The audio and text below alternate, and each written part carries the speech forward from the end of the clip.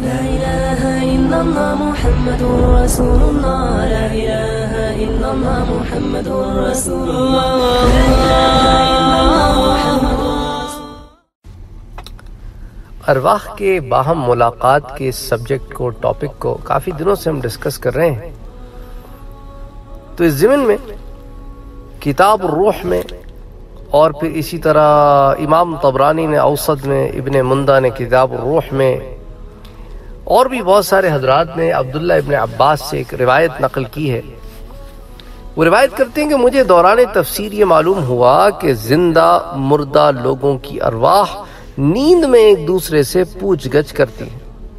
तो मुर्दों की रूहों को अल्लाह ताला रोक लेता है और जिंदों की रूहें इनके जिस्मों पे वापस लौटा दी जाती हैं। इसी तरह जुएबिर ने हज़रत अब्दुल्ला इबन अब्बास से इस आयत की तफसीर करते हुए कहा कि एक रस्सी मशरक से लेकर मगरब तक तनी हुई है। ज़िंदा और मुर्दा लोगों की रूहें इस रस्सी की जानब जाती हैं और ज़िंदा की रूह मुर्दा की रूह से मिल जाती है।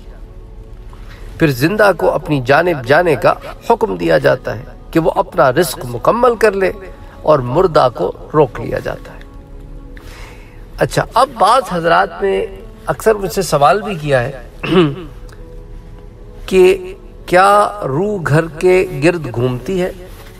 इस ज़मीन में एक रिवायत जो मेरी नज़र से गुजरी है, वो मुस्नदुल फिरदौस में आती है। वल्लाहु आलम, और रिवायतें भी होंगी। बहरहाल एक रिवायत आती है कि जब कोई मौत का प्याला पी लेता है, अल्फाज है, कि जब कोई मौत का प्याला पी लेता है, यानी कि मर जाता है तो इसकी रूह एक माह तक इसके घर के गिर्द घूमती है, और फिर एक साल तक इसकी कब्र के गिर्द घूमती है। फिर इसे इस रस्सी पर पहुँचा दिया जाता है, जहाँ ज़िंदा और मुर्दा रूहें आपस में मुलाकात करती हैं। बिस्सवाब। दूसरी रिवायात में तो ये आता है कि अलीन और सिज्जीन का ज़िक्र है कि अलीन में पहुँच जाती हैं, सिज्जीन में पहुँच जाती हैं। अब ये मेरी नज़र से ये रिवायत गुजरी तो इसलिए मैंने आपके सामने से पेश कर दिया।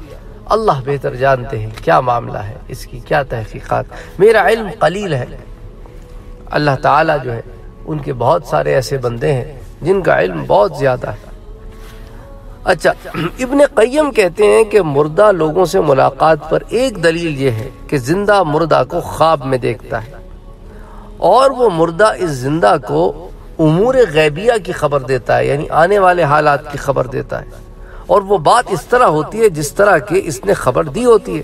तो कहते हैं, मैं कहता हूँ कि इब्न सीदीन ने फरमाया है कि जो बात मुर्दा बताए वो हक होती है, क्योंकि वो हक के घर में क्योंकि वो हक के घर में क्योंकि वो आलम अरवाह में है, अल्लाह ताला की क़ुरबत में है। इसीलिए वो जो बात से मुतल फरमाता है, वो हक होती है।